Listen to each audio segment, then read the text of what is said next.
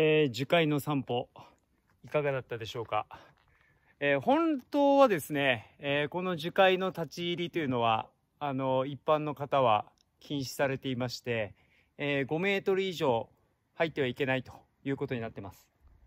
え今回自殺をする方とか、まあ、ちょっと病んでここに深く入ってしまいそうな方たちにケアのために声かけをする団体の方にですねえ、特別に許可を取って、え、少し入らせていただいているんですけれども、まあ、樹海死の森ではなくむしろ生命の森ということでそうですね。本当にあの土もない中で必死に岩にしがみついて生命力あふれるこの森でですねむしろ必死に生きるというメッセージを自然から受け取って死ではなく生きるを選択することを願うばかりです、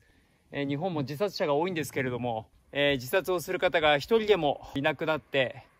本当に日本の自殺者が少なくなることを願ってます。樹海からでした。